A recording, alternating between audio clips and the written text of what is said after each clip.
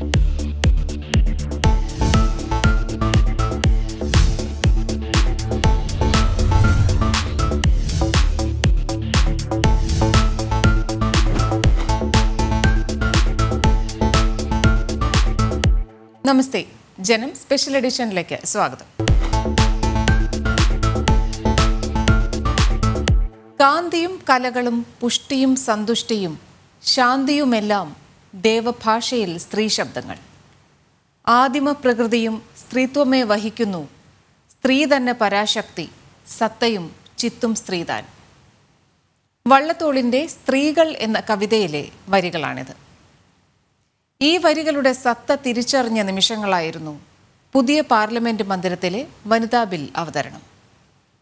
സ്ത്രീ ശാക്തീകരണത്തിന്റെ കാഹള ശബ്ദമായി മാറുന്ന വനിതാ ബിൽ മാറുന്ന ഭാരതത്തിന്റെ സ്ത്രീശക്തിക്ക് മാറ്റുകൂട്ടും എന്നത് നിസ്തർക്കമാണ്. തീർച്ചയായിട്ടും ഇത് വലിയ വിജയം തന്നെയാണ് നമ്മുടെ ഗവൺമെന്റിനും നമ്മുടെ സ്ത്രീകൾക്കും മഹിളകൾക്കും ഭാരതത്തിന്റെ എല്ലാ വിമനും ഇതൊരു വലിയൊരു നേട്ടം തന്നെയാണ് ഞങ്ങൾ കാണുന്നത്. Beyond politics beyond religion beyond caste creed I think it is a great victory for women അപ്പോ അങ്ങനെ നമ്മൾ കാണുന്നത് ഇത്. മോദി സർക്കാരിന്റെ നിരന്തരമായ ശ്രമങ്ങൾ നടത്തിയിട്ടുണ്ട്. വിമൻ ഡെവലപ്മെന്റ് മഹിള മഹിളകൾക്ക് വേണ്ടിയിട്ടും. തീർച്ചയായിട്ടും ഇത് വിമൻ എംപവർമെന്റിന് ഒരു വലിയൊരു ഘടകം തന്നെ ആയിരിക്കും ഇത് വലിയൊരു നേട്ടം തന്നെയാണ് വനിതാ ബിൽ അവതരണത്തിന് മുമ്പ് പ്രധാനമന്ത്രി രാജ്യത്തോട് പറഞ്ഞത് ഈ വാക്കുകളായിരുന്നു आज नए संसद भवन में हम सब मिलकर के नए भविष्य का श्री गणेश करने जा रहे हैं आज हम यहाँ विकसित भारत का संकल्प दोहराना, फिर एक बार संकल्पबद्ध होना और उसको परिपूर्ण करने के लिए जी जान से जुटने के इरादे से नए भवन की तरफ़ प्रस्थान कर रहे हैं। एक के बाद एक घटनाओं की तरफ़ हम नज़र करेंगे। हर घटना इस बात का गवाह दे रही है कि आज भारत एक नई चेतना के साथ पुनर्जागृत हो चुका है।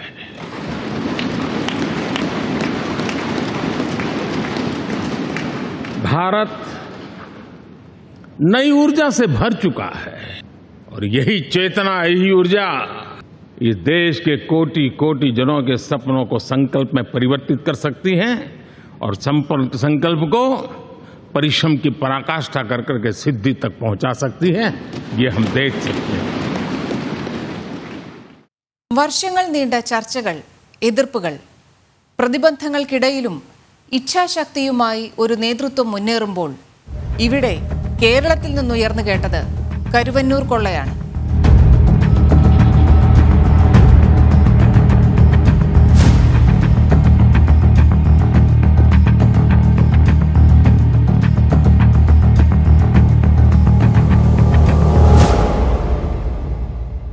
ഇവിടെ ഓരോ ദിവസം പുറത്തു വരുന്ന തെളിവുകൾ അന്വേഷണങ്ങൾ നമ്മളെയൊക്കെ ഞെട്ടിക്കുന്നതാണ് ഇ ഡി അന്വേഷണം. നമ്മളൊക്കെ കേരളത്തിൽ കേട്ടുകേൾവില്ലാത്ത രൂപത്തിലുള്ള വലിയ വലിയ സംഭവങ്ങളിലേക്കാണ് പോയിക്കൊണ്ടിരിക്കുന്നത്. കരുവന്നൂർ ബാങ്ക് പൊറച്ചേരി പഞ്ചായത്തിന്റെ പഴയ പൊറച്ചേരി പഞ്ചായത്തിന്റെ അതിർത്തിയിൽ പ്രവർത്തിക്കുന്ന ഒരു ബാങ്കാണ്. കേരളത്തിലെ ആയിരത്തി അഞ്ഞൂറിലധികം വരുന്ന ബാങ്കുകളിൽ ഒരു ബാങ്ക് മാത്രമാണ്. ഇ ഡി അന്വേഷണവുമായി ബന്ധപ്പെട്ട് പറയാനുള്ളത് വടക്കാഞ്ചേരിക്കാർക്കും തൃശ്ശൂർക്കാർക്കും കരുവന്നൂർ ബാങ്കിൽ എന്താ കാര്യം? അവരിടപെട്ടിട്ടുണ്ടെന്ന് ഡി കണ്ടെത്തുന്നു. സത്യം പുറത്തു വരട്ടെ എന്നാണ് ഞങ്ങൾക്ക് പറയാനുള്ളത്.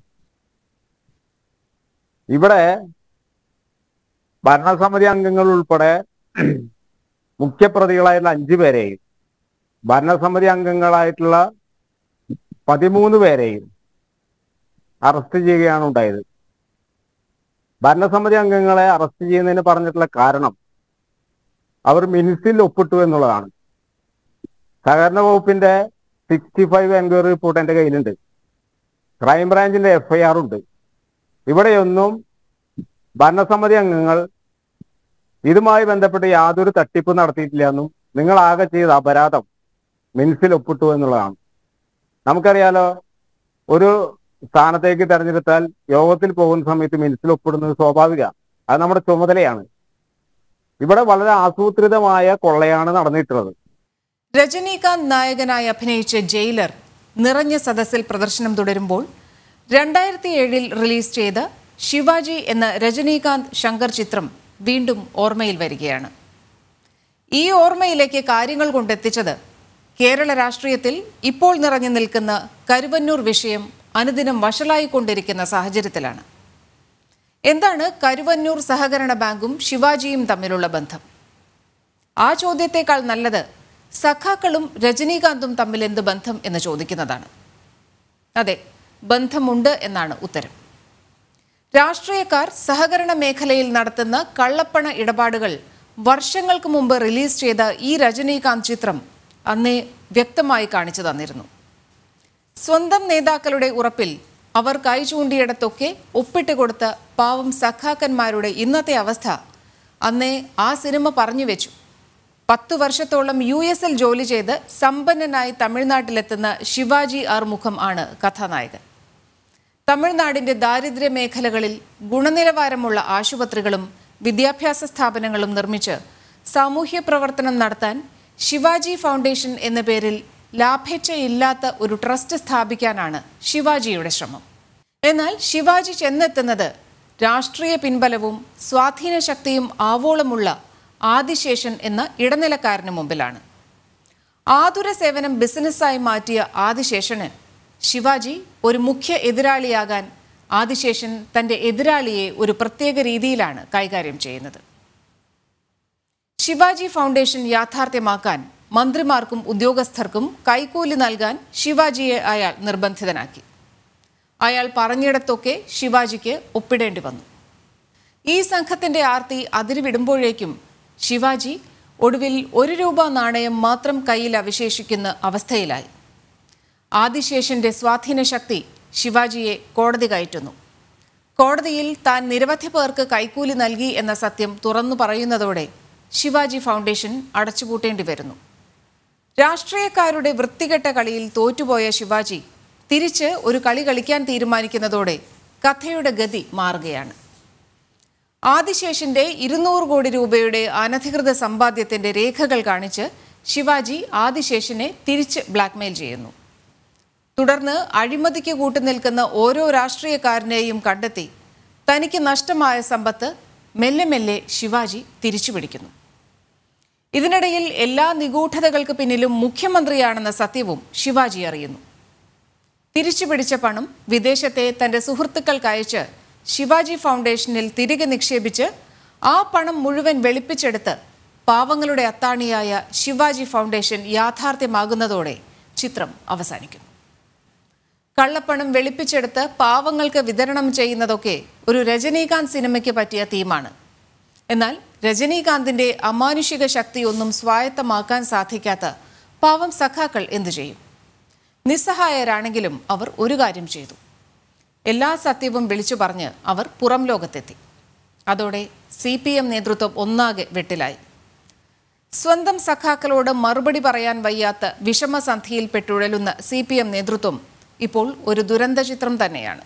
ഈ ബാങ്കിൽ നടന്ന അങ്ങേയറ്റത്തെ കൊള്ളയാണ് അത് ആര് ചെയ്തിട്ടുണ്ടെങ്കിലും അത് തെറ്റാണ്. അതൊരിക്കലും അംഗീകരിക്കാൻ പറ്റില്ല. കാരണം ഏറ്റവും പാവപ്പെട്ട ജനങ്ങളാണ്. സാധാരണക്കാരിൽ സാധാരണക്കാരുടെ ഒരു അവസാനത്തെ ആശ്രയ കേന്ദ്രമാണ് പത്ത് രൂപയ്ക്ക് പെട്ടെന്ന് ഓടിച്ചെന്നെടുക്കാൻ പറ്റുന്ന ഒരു സ്ഥാപനമാണ് ഈ ധനകാര്യ സ്ഥാപനം. ഇങ്ങനെയുള്ള സഹകരണ സ്ഥാപനം. നമ്മുടെ കേരളത്തിന്റെ ഒരു നട്ടലുമാണ് ആ സഹകരണ സ്ഥാപനങ്ങൾ ഭരിക്കുന്ന കേരളത്തിൽ എന്തായാലും പ്രത്യേകത ഉണ്ട്. കുറച്ച് ഇടതുപക്ഷവും കുറച്ച് കോൺഗ്രസുമാണ്. ഇവിടെ ബി ജെ പിക്ക് സഹകരണ സ്ഥാപനങ്ങളൊന്നുമില്ല. അപ്പൊ ഈ സഹകരണ സ്ഥാപനങ്ങൾ ഭരിക്കുന്നവർ എപ്പോഴും ജനകീയമായി നിൽക്കുകയും ജനങ്ങളുടെ പ്രവർത്തനങ്ങളുമായിട്ട് ബന്ധപ്പെട്ടു പോവുകയും ജനങ്ങൾക്ക് ആശ്രയം എന്നുള്ള നിലയിൽ നിലകൊള്ളുന്ന ഇന്ത്യയ്ക്ക് മൊത്തത്തിൽ മാതൃകയായിട്ടുള്ള ഒരു മേഖലയാണ് നമ്മുടെ സഹകരണ മേഖല. അതിനകത്തൊന്നും എനിക്ക് തർക്കമില്ല. ആര് തെറ്റ് ചെയ്തിട്ടുണ്ടെങ്കിലും ഈ പാവത്തങ്ങളുടെ പണം ആരാണ് പറ്റിച്ചിട്ടുള്ളതെന്നുണ്ടെങ്കിലും അതിന് പരിപൂർണമായ ഒരു ഉത്തരവാദിത്വമുണ്ട്. അവർ ശിക്ഷിക്കപ്പെടണം. യഥാർത്ഥ പ്രതികളെല്ലാം അന്വേഷിച്ച് ജയിലിൽ ആക്കണം എന്നുള്ള കാര്യത്തിൽ തർക്കമില്ല.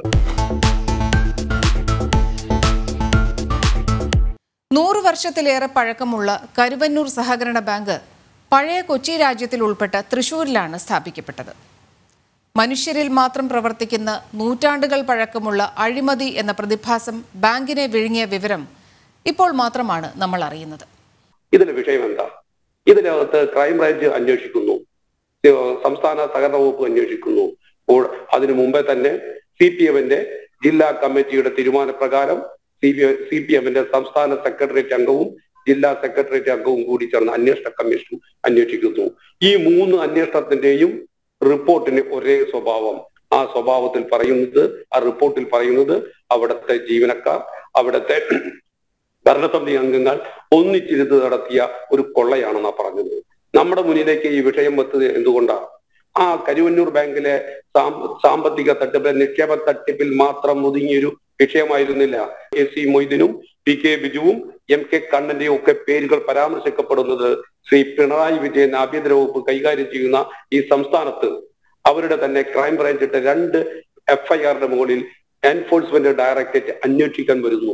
ആ അന്വേഷണത്തിന്റെ ഭാഗമായി കൊണ്ടാണ് ഈ രാജ്യത്ത് പി എം എൽ എ രണ്ടായിരത്തി രണ്ട് എന്ന് പറയുന്ന prevention of money laundering act രണ്ടായിരത്തി രണ്ട് പ്രകാരം മണി ലോണ്ടറിംഗ് ഒരു സിറ്റിംഗ് എം എൽ എ നടത്തിയെന്ന് വ്യക്തമായ തെളിവുകൾ ഇഡിക്ക് കിട്ടിയതിന്റെ ഭാഗമായിട്ടാണ് എസ് സി മൊയ്തീന്റെ വീട്ടിൽ ഓഗസ്റ്റ് ഇരുപത്തിരണ്ടാം തീയതി ഇരുപത്തിരണ്ട് മണിക്കൂർ നീണ്ടു നിന്ന റെയ്ഡ് ഉണ്ടായത്.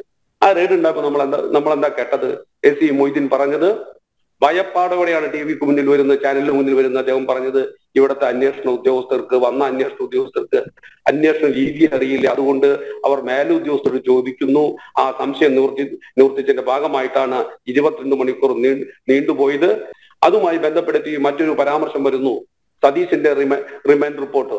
ഇതിലെ ഒന്നാം പ്രതിയായ സതീശിന്റെ റിമാൻഡ് റിപ്പോർട്ടിൽ സിറ്റിംഗ് എം എൽ എ മാത്രമല്ല ഒരു എക്സ് എം പി കൂടി ഇതിൽ കക്ഷിയാണെന്ന് പറഞ്ഞപ്പോൾ ഇന്ത്യൻ നാഷണൽ കോൺഗ്രസിന് വേണ്ടി ഓൾ ഇന്ത്യ കോൺഗ്രസ് കമ്മിറ്റിയുടെ അംഗം മുൻ M L A Anil Akkara പറഞ്ഞു ആ ex M P T K Biju ആണെന്ന് പറഞ്ഞു. ബിജു പറഞ്ഞു ബിജു ഇത്തരം ഒരു അന്വേഷണ കമ്മീഷന്റെ നടത്തുകയും അതിന്റെ റിപ്പോർട്ട് പുറത്തു വിട്ടിട്ടില്ലെന്നാണ് ബിജു പറഞ്ഞു ബിജു പറഞ്ഞു ഞങ്ങളുടെ പാർട്ടിക്കകത്ത് അങ്ങനെ ഒരു അന്വേഷണ കമ്മീഷൻ ഇല്ല.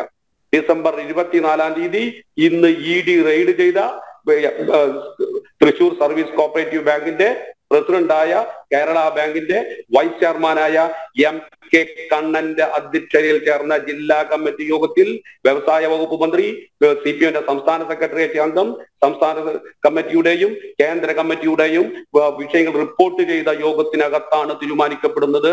കെ ബിജുവിനെയും അതുപോലെ തന്നെ ഷാജിനെയും അന്വേഷണ കമ്മീഷനാക്കി തീരുമാനിക്കുന്നത്. ആ അന്വേഷണ കമ്മീഷൻ റിപ്പോർട്ട് പുറത്തു വന്നു. ആ റിപ്പോർട്ടിനകത്ത് പറയുന്നു ഇതിൽ ബിനാമി ലോണുണ്ട് ഇതിൽ ബന്ധു ലോണുണ്ടെന്ന്.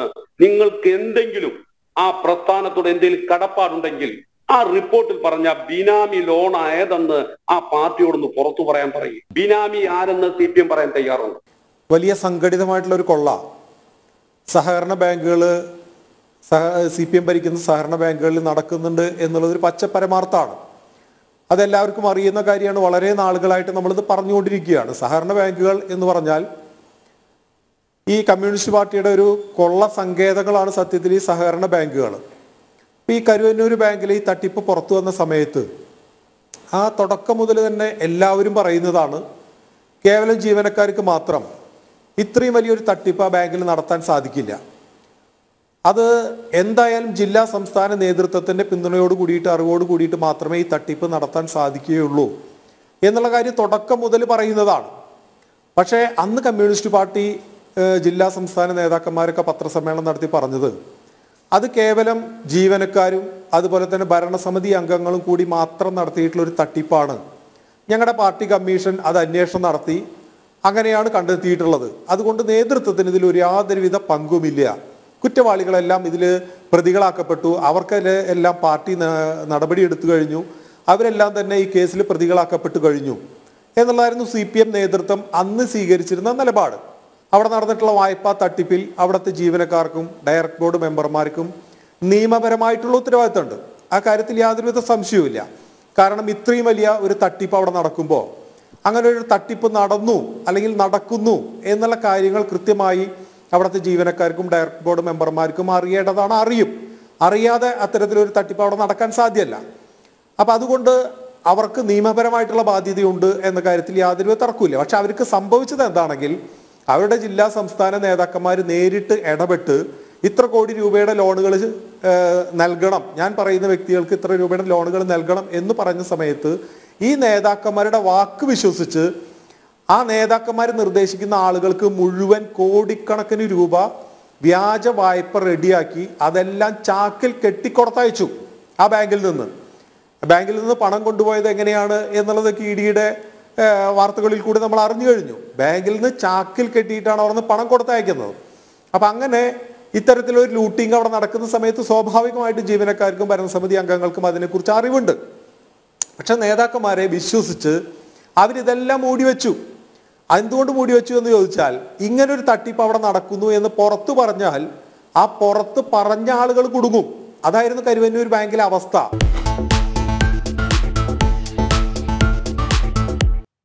അഴിമതിയുടെ നടന വഴികളിൽ സഖാക്കൾ സഞ്ചരിച്ചത് ഇങ്ങനെയാണ്. സഹകരണ ബാങ്കിൽ നിന്ന് ഒരാൾ ഒരു തുക കടമെടുക്കുന്നു. ആ കടം തിരിച്ചടയ്ക്കാതെ ജപ്തി നടപടികളിലേക്ക് നീങ്ങുന്നു.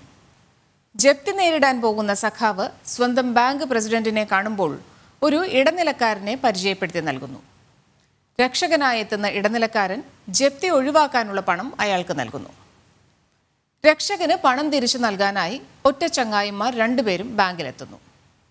ഇതേ ആധാരം പണയം വെച്ച് വീണ്ടും അധിക തുക ബാങ്കിൽ നിന്നെടുക്കുന്നു. ഭയപ്പെടേണ്ട ആധാരത്തിന്റെ ആധികാരികത ആരും ചോദ്യം ചെയ്യില്ല. വീണ്ടും രക്ഷാദൗത്യവുമായി കടക്കിണിയിൽ കുടുങ്ങി നിൽക്കുന്ന ഒരാളെ തേടി രക്ഷകൻ ഇറങ്ങുന്നു തനിയാവർത്തനത്തിന്റെ രസച്ചരട് പൊട്ടാതെ ഇത്രനാൾ ആസ്വദിച്ചിരുന്ന കലാപരിപാടിക്കാണ് ഇ ഡി കർട്ടനിട്ടത്. രാഷ്ട്രീയ നേതാക്കളുടെ അഴിമതിയുടെ ഇരുണ്ട വഴികളിൽ സെർച്ച് ലൈറ്റുമായി ഇ ഡി വരുമെന്ന് സഖാക്കൾ സ്വപ്നത്തിൽ പോലും പ്രതീക്ഷിച്ചിരുന്നില്ല. ബാങ്കിൽ അവിടെ പരിശോധിക്കുന്നു കൂടുതൽ ക്രമക്കേട് കണ്ടെത്തുന്നു. ഈ ക്രമക്കേട് സ്വാഭാവികമായിട്ട് എ ആർ എ ആർ ഓഫീസിൽ റിപ്പോർട്ട് ചെയ്യണം. പക്ഷേ എ ആർ ഓഫീസിൽ റിപ്പോർട്ട് ചെയ്യുന്ന പാർട്ടിയോട് ചോദിക്കണം. പാർട്ടി പറഞ്ഞു ഇപ്പൊ വേണ്ടെന്ന് പറഞ്ഞു. ഇവിടെ പാർട്ടിയെ നിരന്തരമായി അറിയിച്ചുകൊണ്ടിരിക്കുകയായിരുന്നു. പക്ഷേ പാർട്ടി പറഞ്ഞു ഒരു പ്രശ്നമില്ല പുറത്തേക്ക് പോയി കഴിഞ്ഞാൽ എ ആർ ഓഫീസിൽ കോൺഗ്രസ്സുകാരുണ്ട് ബി ജെ പി അനുഭാവികളുണ്ടാവും കൊടുത്തു കഴിഞ്ഞ് പുലിവാലാവും എന്ന് പറഞ്ഞ് പര ഇവ ഇവരെ നിർബന്ധിച്ചുകൊണ്ടിരിക്കുകയായിരുന്നു. ഇവർ പാർട്ടിയെ അറിയിച്ചുകൊണ്ടിരുന്നു. നിരന്തരമായി. എന്റെ അധ്യക്ഷതയിലാണ് യോഗം കൂടിയത്. പി കേന്ദ്രൻ സാന്നിധ്യത്തിലാണ് യോഗം കൂടിയത്. അങ്ങനെ ചെയ്തിട്ട് രണ്ടായിരത്തി പത്തൊമ്പത് വരെ ഈ സംഭവം പൂഴ്ത്തി വെച്ച് കയറുന്നു. ഇതുവരെ ലാഭകരമായിരുന്നു എന്നുള്ള അർത്ഥത്തിലാണ് അവിടെ കണക്ക് വന്നിരുന്നത്. ഇരുപത്തഞ്ച് ശതമാനം എല്ലാ വർഷവും ഡിവിഡൻഡ് കൊടുക്കാറുണ്ട്. നൂറ് രൂപ വെച്ച് എല്ലാ സഹകാരികൾക്കും കൊടുക്കാറുണ്ട്. കൊറോണ കാലത്ത് ഒരു കോടി മുപ്പത്തഞ്ച് ലക്ഷം രൂപ ബഹുമാനപ്പെട്ട ചീഫ് മിനിസ്റ്റർ പേര് വായിച്ചത് കരുവന്നൂർ ബാങ്കിലെ. പൊളിഞ്ഞ് പാളീസായിട്ടുള്ള ബാങ്കായിരുന്നു. പക്ഷെ പുറമേക്ക് മോടി പിടിച്ചുകൊണ്ട് ഇതൊക്കെ നടത്തിക്കൊണ്ടിരിക്കുകയായിരുന്നു. ഞാൻ സൂചിപ്പിച്ചത് വളരെ കൃത്യമായും ഈ കാര്യങ്ങൾ പാർട്ടി നേതൃത്വത്തെ അറിയിപ്പി അറിയിച്ചിരുന്നു. പാർട്ടി പറഞ്ഞത് പരിഹരിക്കാം. ഒരു പ്രയാസമില്ല പ്രശ്നമില്ല അതുകൂടാതെ രണ്ടായിരത്തി ഇരുപത്തൊന്നിൽ സി പി എമ്മിന്റെ ഡി സി ഓഫീസിൽ ഞങ്ങൾ ബഹുമാനപ്പെട്ട മിനി- ചീഫ് മിനിസ്റ്റർക്ക് കൊടുത്ത കത്തുണ്ട്. അതിൽ കൃത്യമായി സൂചിപ്പിച്ചിട്ടുണ്ട്. പാർട്ടിയുടെ സ്റ്റേറ്റ് നേതാക്കന്മാർ ജില്ലാ സെക്രട്ടറി ഉൾപ്പെടെയുള്ള സി പി എമ്മിന്റെ ജില്ലാ സെക്രട്ടറിയും സംസ്ഥാന കമ്മിറ്റി ഉൾപ്പെടെയുള്ള അംഗങ്ങൾ ഉൾപ്പെടെയുള്ള സബ് കമ്മിറ്റി കൂടിയിരുന്നു അവിടെ. അതിൽ ദിനേശൻ എന്ന് പറയുന്ന ഭരണസമിതി അംഗം അഞ്ചു മാസക്കാലം ജയിലിൽ കിടന്ന ഭരണസമിതി അംഗം ഉൾപ്പെടെ പങ്കെടുത്തിരുന്നു. ആ സബ് കമ്മിറ്റിയുടെ തൃശൂർ ഡി സി ഓഫീസിൽ ചേർന്ന സബ് കമ്മിറ്റിയുടെ തീരുമാനം എന്ന് പറയുന്നത് ഈ അഞ്ചു പേര് കുറ്റക്കാരാണ്. ഈ അഞ്ചു പേര് കുറ്റക്കാരാണ്. അവർക്കെതിരായിട്ട് പോലീസിൽ പരാതി കൊടുക്കാൻ തീരുമാനിച്ചു സബ് കമ്മിറ്റി പിന്നെ പിന്നീട് നമ്മൾ അറിയുന്നത് പ്രസിഡന്റിനെ സ്വാധീനിച്ച് ഏരിയ നേതൃത്വം ആ പരാതി പിൻവലിപ്പിക്കുകയും അസിസ്റ്റന്റ് സെക്രട്ടറി ആയിട്ടുള്ള ആളെ കൊണ്ട് കൊടുക്കുകയാണ് ചെയ്തത്. രാംജി റാവ് സ്പീക്കിംഗിൽ രേഖയിൽ ഒപ്പിടാൻ തുടങ്ങുമ്പോൾ അവനവൻ കുഴിക്കുന്ന കുഴികളിൽ പതിക്കുമ്പോൾ ഗുലുമാൽ എന്ന ഗാനം ഒരു അശരീരി പോലെ കേൾക്കുന്നുണ്ട്. അവനവൻ കുരുക്കുന്ന കുരുക്കഴിച്ചെടുക്കുമ്പം കൊല്ലുമായി വരികളുടെ അർത്ഥത്തിൽ വിഷണ്ണനായി ഒപ്പുവെക്കണോ വേണ്ടയോ എന്ന തീരുമാനത്തിലെത്താൻ കഴിയാതെ കുഴങ്ങുന്ന സായികുമാർ നമ്മളെ ഒരുപാട് ചിരിപ്പിച്ചിട്ടുണ്ട്. ഏതാണ്ട് ഇതേ അവസ്ഥയിലെത്തിയിരിക്കുന്നു ഒപ്പിട്ട പല സഖാക്കളും. ഇനിയെങ്കിലും നേതാക്കന്മാരുടെ വാക്കുകേട്ട് അവർ പറയുന്നിടത്ത് ഒപ്പിടാൻ തയ്യാറാകുന്ന സഖാക്കൾ ആ ഗാനശകലം ഒന്നുകൂടി കേൾക്കുന്നത് നന്നായിരിക്കും. എല്ലാ സഖാക്കൾക്കും രജനീകാന്ത് ആകാനാവില്ലല്ലോ ജനം സ്പെഷ്യൽ എഡിഷൻ ഇവിടെ പൂർണമാവുകയാണ്. വീണ്ടും അടുത്ത ആഴ്ച. നമസ്തേ.